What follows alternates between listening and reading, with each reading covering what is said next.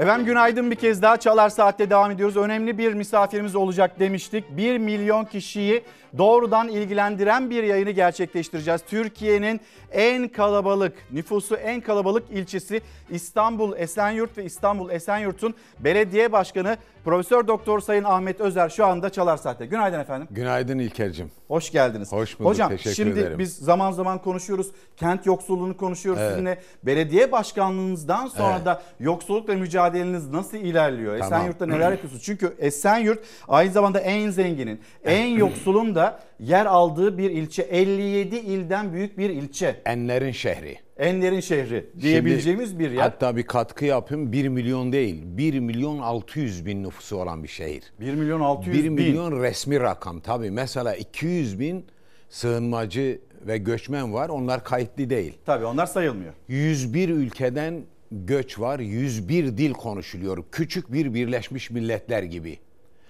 Çok güçlü yanlarımız var. Örneğin 3000 fabrikamız var. Türkiye gayri safi milli hasılasının yüzde altısını biz üretiyoruz.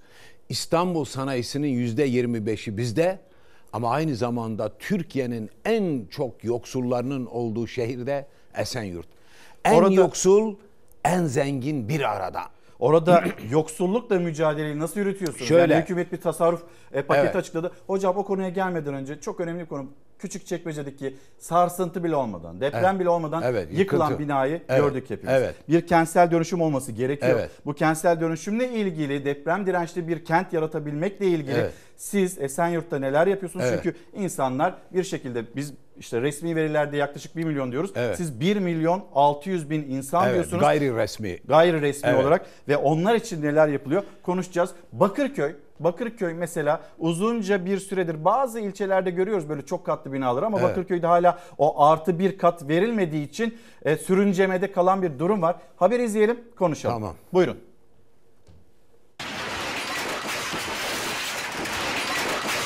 Mesela bakın Zeytinburnu'na 15 kat veriyorlar. Buraya bir kat bile vermiyorlar. Bekliyoruz yani. Kıyafetlerimizin büyük bir kısmını topladım burada işte. Bunu hurçların içine koydum böyle. Burası da olduğu gibi mutfak eşyalarım. Böylece bekliyoruz. Kentsel dönüşümü bekliyoruz. Bir kat daha verecekler mi diye bekliyoruz. Yardım edecekler mi diye bekliyoruz. İstanbul'da AK Partili belediyelerin sınırları içinde kat kat yeni binalar yükselirken komşu CHP'li ilçelerde artı bir kata bile izin verilmedi yıllardır. Kat sayısı artmayınca inşaat maliyeti ağırlaşıyor, müteahhitle anlaşamıyor ev sahipleri. Daire başına 3 milyon lirayı aşan dönüşüm bedelini ödeyemiyorlar. Özellikle deprem riskinin en yoğun olduğu ilçelerden Bakırköy'de 50-60 yıllık binalarda korku içinde yaşıyorlar. Bakırköy Belediyesi Kentsel Dönüşüm Müdürlüğü'nü kurdu, artı kat izni için harekete geçti. İki parsel birleşince 1000 metrekareye artarsa o zaman biz artı bir kat verelim şeklinde bir plan vardı. İstiyoruz ki parsel bazında artı bir kat verilsin. Çünkü biliyoruz ki inşaat maliyetleri daha önceki gibi değil. Dönüşüm yapılamıyor mu artı bir kat verilmeden? Parası yok emekli apartmandaki herkes. Ne kadar para isteniyor? 3 üç küsurat gibi istiyorlar. Burası İstanbul'un gözde ama deprem riski en yüksek olan ilçelerinden biri Bakırköy. Çevremdeki binaların neredeyse tamamı 40-50 yıllık çürük ve dönüşme ihtiyacı olan binalar. Bir tanesi de burada çürük olduğu için acil tahliye raporu verildi. Daire sahipleri çıkarıldı fakat bina yaklaşık 2 yıldır atıl durumda bekliyor. Çünkü kentsel dönüşüm için anlaşma sağlanamıyor. Bu binadaki daire sahipleri de artı bir kat iznini bekliyor. Biz artı bir katı vermeyi hedefliyoruz. O olası beklenen büyük deprem olduğu takdirde Bakırköy nüfusunun %50'si zarar görecek. 54 senelik bina. Belli işte e, çakılı bilmem nesi, midye çıkıyor, bilmem ne çıkıyor. Yani Yeni Mahalle'de öyle, Bakırköy'de öyle, İncirli'de öyle, Yeşilköy'de öyle, Yeşilyurt'ta öyle. Bakırköy'de yaşayan Hançeroğlu çiftinin evleri de çürük. Eşyalarını topladılar. Endişeyle yaşadıkları 54 yıllık apartmanın dönüşümü için taşınmaya hazır bekliyorlar. Bunun 13-14 ay oluyor bunlar topladığıma. Depremden hemen sonra topladım ben zaten korkudan. Bir şey olacak zannettim ama maalesef seçimdir, şudur budur hep oyaladılar bizi. Ve hala oyalanıyoruz. İstanbul Bakırköy'deki 54 yıllık bu bina 1975 deprem yönetmeliğinden bile önce yapıldı.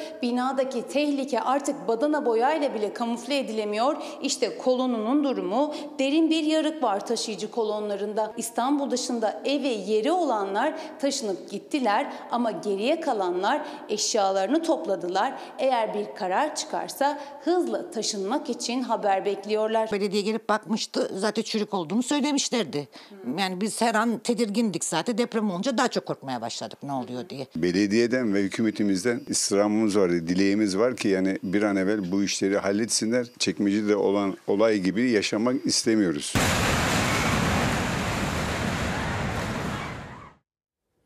Ahmet Özer aynı zamanda İstanbul Büyükşehir Belediyesi'nde deprem üst kurulu yönetiminde de yer alan bir isim. Esenyurt Belediye Başkanı ve şimdi hocam e, burası Bakırköy'dü Evet. bir çözüm bekliyor. Evet. E, Küçükçekmece'de olanı gördük. Evet. 1556 binanın hemen yıkılabileceği konuşuluyor. Evet. Esenyurt'ta durum nedir? Şimdi adım adım gidelim mi sevgili İlker? Buyurun. Bu işle ilgili önce şunu tespit etmemiz lazım.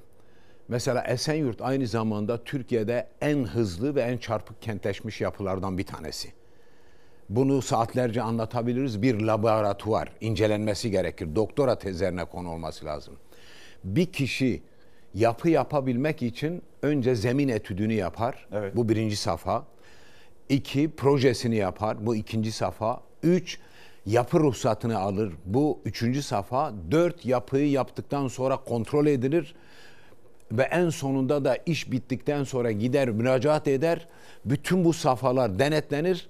Evet sen bunları usulüne uygun yaptın. Ona iskan ruhsatı verilir ve vatandaş da gider rahat rahat oturur. Evet. Şu anda bizde 40 bin konut mağduru var. Bu bir. İki, başka bir garabet söyleyeyim. Bir ruhsat verilmiş, yapı ruhsatı 20 kata. 20. Sonra o müteahhit bir takım paralar da almış halktan. Yarıda bırakmış, bırakmış gitmiş. Onun üzerine yeni gelen müteahhite 20 kat daha verilmiş. 40 kat mesela. Bu ne? Ya bu zemin buna uygun mu değil mi buna bakılmaksızın hem geçmişte bir mağduriyet Müteahhit e, orada Gitmiş. maliyetini kurtarmaya çalışıyor. Yeni, Yeni- gelen müteahhit yeni gel- zaten kaçmış. yeni gitmiş. gelen müteahhit E, diyor ki- insanların hayatı ne olacak? E, insanların hayatı işte bu anlamda bir düşünülememiş. Bu bir. İki, Esenyurt'ta yeşil alan kişi başına 72 santimetre kare. Türkiye'de normali 10 metrekare. Bunu depremle bağlantılı söylüyorum. 72 Niye? santimetre kare. mi? 72 santimetre kare kişi başına düşen yeşil alan. Normali ne kadar? 10 metrekare. Diyeceksin ne ilgisi var? Şu ilgisi var. Deprem toplanma alanları bile inşaata beton lobilerine peşkeş çekilmiş İlker'cim. Dolayısıyla böyle bir garabetle karşı karşıyayız. Bu bir. İki, bu işin sade ilçe belediyesi, büyükşehir belediyesi ile kurtarılma durumu söz konusu değil. Bu afet ulusal bir meseledir. Üç tane birimin eş güdüm içinde çalışması lazım. Bizde afet müdürlüğü var mesela. 75 tane kurtarma ekibi var. 75 tane ne yapar koca Esenyurt'ta? Ayrıca AKOM var İstanbul'da. Evet. O da İstanbul'da diyelim ki Allah korusun şimdi böyle bir beklenti de var. Tek başına ne yapabilir? ne var? Bir de AFAD var. Şimdi bizim birimimiz İstanbul Büyükşehir Birimi ve AFAD koordinali eş güdümlü çalışması lazım. Hocam bir yani şey sorabilir miyim? buyurun. Korkuyor musunuz? Bu deprem olursa diye. E tabi halkım adına korkuyorum. Yani endişeliyim. Çünkü en büyük problemimiz bu ve biz depreme dirençli kentler yaratmak durumundayız. Biz ne yapıyoruz? Şimdi iki üç boyutlu bir şey var. Bir, vatandaş kendisi müracaat eder. İki, belediye tespitler yapar. Üç, kentsel dönüşme girmesi gereken yerler var. Yani behemahal çürümüş yapıların, riskli yapıların derhal yenilenmesi lazım. Ben şimdi tabii elimde rakamlar, sayılar var. binalar var, onları da var. duymak yani isterim. işte siz demin de söylediniz. Ben bunları söyleyip kimseyi endişelendirmek istemem ama bu Gerçek bizim bu. görevimiz gerçek. Mesela bizim 2014-2019 arası ayrı bir tespit var. Ayrıca 2019 ile 2024 arası ayrı bir tespit var. 2014-2019 arası riskli yapı 1544. 2019-2024 arası yapılan riskli yapı 952. Bir azalma var ama yeterli değil. Bir dönüşümü gerçekleştirmemiz lazım. Bunu Ekrem Başkan'la da konuştuk. İstanbul Büyükşehir ile birlikte behemahal biz şehrimizi dirençli hale getirmemiz gerekir. En dirençli kent olmaya muhtaç yer de Esenyurt'tur. İlker'cim bir zincirin gücü en zayıf halkasıyla ölçülür. İstanbul'un zayıf halkası Esenyurt'tur her bakımdan. Esenyurt'u güçlendirmemiz lazım. Ve korkuyorum diyorsunuz. Ve halkım adına korkuyorum. Yani benim kişisel bir korkum yok. Ben kendimi halkıma adamışım. Bu görevi üstlenmişim. Bu e, tabii ki endişeleneceğiz. Yani hiçbir şey yokmuş gibi davranamayız. Bu Bir de veri var hocam. ben 952 üç tane deprem geçirmiş bir kardeşinizim. Üç tane kardeşini depreme vermiş bir insanım. Üç tane kardeşim depremde yitirdim.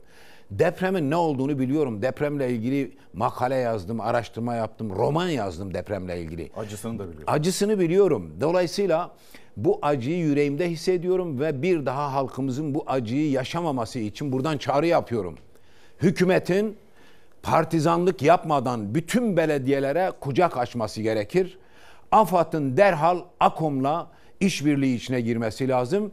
Zaten AKOM bizi koordine ediyor ilçe belediyelerini. Yani bu sadece e, Esenyurt'un da meselesi değil. 39 ilçenin de eş güdüm içinde olması lazım. Özellikle sahil bandında olan ilçelerimizin çünkü bir deprem olasılığının daha çok Marmara fayının Marmara Denizi içinde kırılma olasılığının yüksek olduğunu söylüyor uzmanlar. Ben de sosyal üst kurul üyesiyim. Bir de jeofizik kurul üyelerimiz var. Yani onlar bizatihi o yapının nasıl olacağını biliyorlar. Dolayısıyla bizim özellikle bu hattı yani işte Bakırköy'den tut avcılara oradan Esenyurt'a oraya böyle giden hattı iyi bir biçimde muhkem hale getirmek gibi bir sorumluluğumuz var. Bunun için zaten gece gündüz çalışıyoruz. Bu Deprem en büyük uzmanlığınız. Deprem nedir biliyorsunuz? Acısı nedir biliyorsunuz? Sosyal yapısını biliyorum. Ben tabii 75 sosyoloji kişiyle 1 profesörüyüm. milyon 600 bin insan kurtarılamaz. Bunu zaten hepimiz biliyoruz, görüyoruz. Yani yani şimdi şunu söylüyorum. Şimdi Allah korusun. Allah korusun. Böyle bir şey olduğunda bir anda resmi 16 milyon gayri resmi 20 milyonun yaşadığı bir yerde kara ile, denizle, hava ile ulaşımlar nasıl yapılacak? Mesela depremle ilgili depremle ilgili toplanma alanları dedim ki inşaata, ranta kurban edilmiş. Oralarda konteynerlerin olması lazım. Onların içinde sağlık ekiplerinin, hizmetlerinin, internet bağlantılarının, Şu telefonlarının olması nedir? gerekir. Hocam şu ekrana gelen görüntü nedir? Böyle bina mı olur? Yani Şimdi buna nasıl izin? bir şey söyleyeyim sana. Bakın Enler'in şehri dedim ya. Tek bir sitede 7 bin tane konut var Esenyurt'ta. Tek 7 bir bin. site 7 bin konut. Şimdi dolayısıyla burada insan odağı konulmamış. Daha çok rant odağı konulmuş. Bu tabiri kullanmak istemiyorum ama kullanacağım. Beni mazur görün. Aç kurtlar gibi o rantlara saldırılmış ve çocuklarımızın geleceği düşünülmemiş. Halbuki beton yenmez. Tabutlar yapılmış. Dolayısıyla zararın neresinden dönülürse kardır misali bizim orayı ele alıp gereğini yapmamız lazım. Bu binaların çoğu da boş. Mesela şimdi geldim sizin burada burada bir kardeşimiz Makyöz Hocam ben de Esenyurt'ta Inovia 4'ün konut mağduruyum dedi bana. reklama Daha iki dakika önce anlatabildim mi? Dolayısıyla Türkiye'nin her tarafından, İstanbul'un her tarafından bu anlamda var. Böyle bir konut rantına hücum yapılmış ama yapılan da başarılamamış, eline gözüne bulaştırılmış, binlerce konut mağduru yaratılmış. O bir tarafa bir de bu binaların depreme dirençli olup olmadığına bakılmadan verilenler yerine getirilmediği için sonra üstüne kat verilmiş. Yeni gelen müteahhit oradan kendine kazan sağlayabilmek için yapmış ve bunlar böylece karman çorman hale getirilmiş. Bizim 10 tane imar kısmımız var. 3 tanesi bu yapılmış olan gıllı gişli işlerden dolayı şu anda maalesef iptal durumunda bir çivi çakılamıyor. Vatandaş zararda, belediye zararda bir gelir elde edemiyor. Yapan adam da zararda. Halbuki doğru dürüst yapılırsa E, yapılmamış hocam. Zaten Yapılmamış, karşımıza evet, bir evet. Esenyurt çıkıyor, bir Evet. site çıkıyor. Bir sitede 7 bin insan diyorsunuz. Böyle bir e, beton yığının içinde İşte görüyorsunuz, insanların bakın. yaşaması isteniyor. Evet. Türkiye'nin en büyük nüfusu anlamında e, en büyük ilçesi Esenyurt. Resmi rakamlarda 1 milyona yakın ama gerçekte 1 milyon 600 bin insanın olduğunu anlatıyor. Esenyurt Belediye Başkanı Sayın Ahmet Özer 952 riskli bina olduğunu biliyoruz. Sizin verilerinize Evet. de yansıyor. Hemen yıkılması gereken kaç bina var? 68. 68 binanın Evet. hemen de yıkılması gerekiyor. Şimdi e, bir düne döneceğiz. Dün siz de oradaydınız. E, sosyal belediyeciliği de konuşmak istiyoruz. Evet, Yoksullukla konuşalım. ilgili. Ekrem İmamoğlu İstanbul Büyükşehir Belediye Başkanı, Belediyeler Birliği Başkanı Türkiye seçildi. Belediyeler Birliği. Türkiye Belediyeler Birliği Başkanı seçildi. Evet. İlk kez CHP'li Evet. bir belediye başkanı bu görevi Evet. üstlenecek. Değişim rüzgarı orada da esti. İzleyelim haberimizi. Evet. Ee, yoksullukla devam edeceğiz. Ekrem İmamoğlu 515 oyla birlik başkanı olarak seçilmiştir. Türkiye Belediyeler Birliği de yeni dönemde tamamen eşitlikçi ve demokratik bir anlayışla çalışmalıdır. Bu görev tanımının hiçbir yerinde partizanlık yoktur, olamaz. Sadece kendi partinize mensup belediyelere katkı sunmayı harekete geçirirseniz milleti bölersiniz, üzersiniz. Türkiye Belediyeler Birliği'nin CHP'li ilk başkanı olarak kürsüdeydi Ekrem İmamoğlu. İlk mesajları da eşitlik ve demokrasi üzerine oldu. 2005'ten bu yana hep AK Partili başkanlar koltuktaydı. Artık koltuk CHP'nin. Vatandaşın talebi siyasetin imtiyaz ve çıkar kavgası olmaktan artık çıkarılmasıdır. Büyük ve can yakan sorunlara karşı tüm siyasi ve idari aktörler arasında güç birliği ve dayanışmanın tesis edilmesi isteğidir. 31 Mart sonrası birçok belediyede yaşanan değişim rüzgarı bugüne kadar AK Partili belediye başkanlarının yönettiği Belediyeler Birliği'ni de etkiledi. Ekrem İmamoğlu 515 oyla başkan seçildi. 250 oy alan AK Partili Trabzon Büyükşehir Belediye Başkanı Ahmet Metin Genç'in çıkışlarına da İmamoğlu özellikle dikkat çekti. belediye başkanlarımızın özlük hakları konusunda çok çok sıkıntıları var. Özellikle emekli belediye başkanlarımız özlükleri, aidatları, aylıkları konusunda sıkıntı yaşamaktadırlar. Kesinlikle buradaki herkesin altına imza atacağı hususlardır. Da kime söylüyor biz onu anlamadık. Bu kurul onun muhatabı değildi. Bunun takipçisi olacağız. Merak etmesin o söylediklerini başüstü diyoruz. Yeşil pasaportumuz var. Ancak emekli olduktan sonra doğrudan hemen elimizden alınıyor. Bunu da doğru bulmuyoruz. Bunun da daimi olarak devam etmesini istiyoruz. Demokratik anlamda bir şey daha hoşuma gitti. Açık söyleyeyim. Kendi partisinde konuşamadığı birçok şeyi burada konuşması ona nasıl özgür bir kürsü vermiş hayranlıkla izledim. Belediyeler Birliği'nin ilk CHP'li başkanı İmamoğlu kayyum mesajı da verdi. Kişiye göre, partiye göre kayyum ata ya da kayyum ata birini yolla oraya meclisini yoksa. Yani bakın o kadar yanlış peş peşe geliyor ki. Ben süreci çok ciddi kaygıyla izliyorum. Üzülüyorum. Şu andaki süreçte kötü gidiyor nokta. Evet Ekrem İmamoğlu'nun açıklamaları bu şekilde.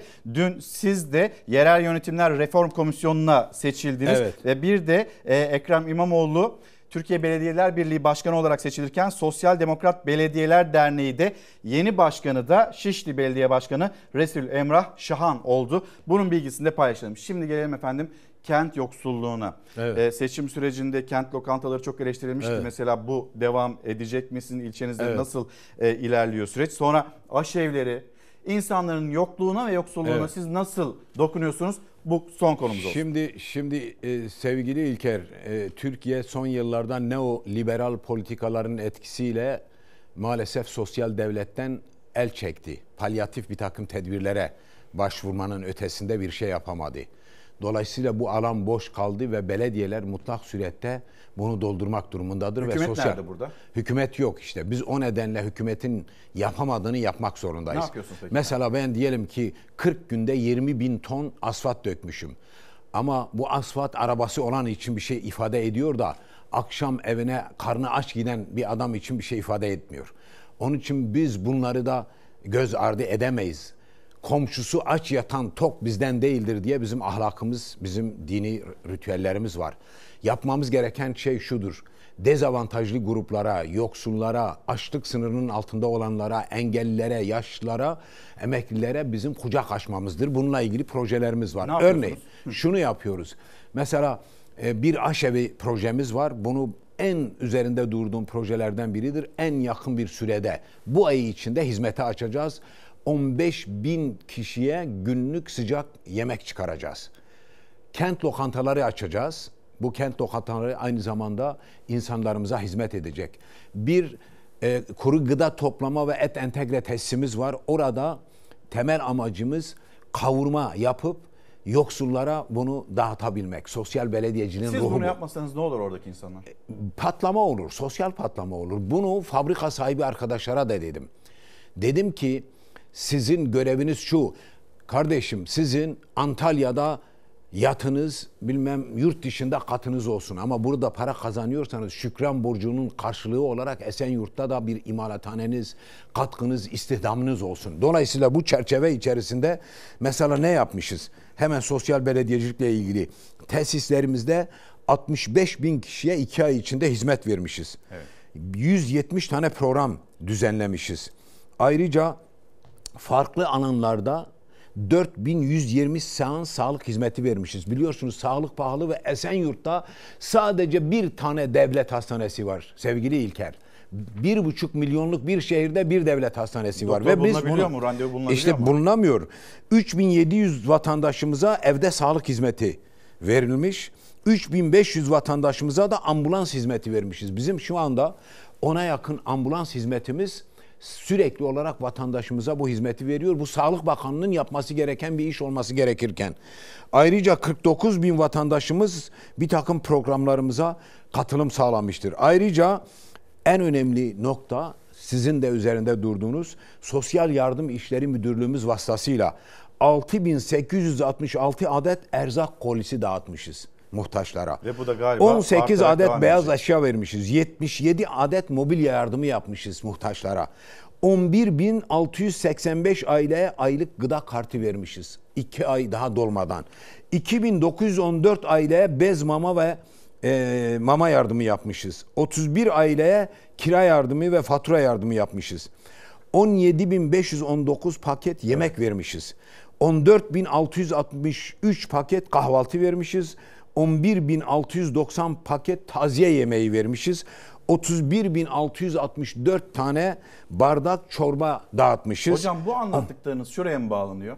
Yani bugünkü buluşmamızda bir, depremin ne olduğunu, Evet. depremin acısının ne olduğunu bilen bir kişiyle, bir Evet. profesörle, bir akademisyenle, bir belediye Evet. başkanıyla hem depremi konuştuk hem de yokluğu, yoksulluğu konuştuk. Kesinlikle. Şimdi mottomuzu söyleyeyim bitireyim. Buyurun. Bir, burası bir Birleşmiş Milletler dedim. Herkes var içinde. Barış ve kardeşliğin şehri Esenyurt. İki, bu depremle ilgili, çarpık kentleşmeyle ilgili mutlak surette depreme dirençli ve sorunları giderilmiş bir Esenyurt. Üç, Naci Görür Hoca ile çalışmaya devam edecek Tabii misiniz? ki zaten Naci hocamız aynı zamanda İstanbul Büyükşehir Belediyesi'nin de sürekli danışmanıdır. Üç, en önemlisi temiz, ulaşılabilir, yeşil bir Esenyurt. Mesela geldiğimiz bir ay, bir buçuk ay içinde bir park açtık. 14 parkın yapımını devam ettiriyoruz. Sosyal belediyecilik dedin. Mesela 15 tane kreşin temelini atacağız. Evet. Anneler işe, çocuklar kreşe. Bu da sosyal bir belediyecilik.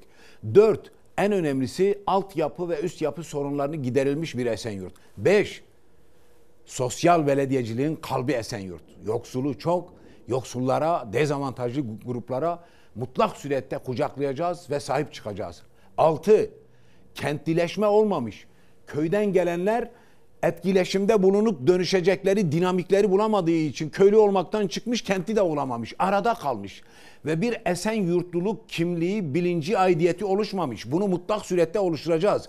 Bunun içinde kültürün, sanatın ve sporun başkenti Esenyurt. Mesela iki gün önce Nazım Hikmet Kültür Merkezi'ni açtım. 21 yıldır yasaklanmıştı.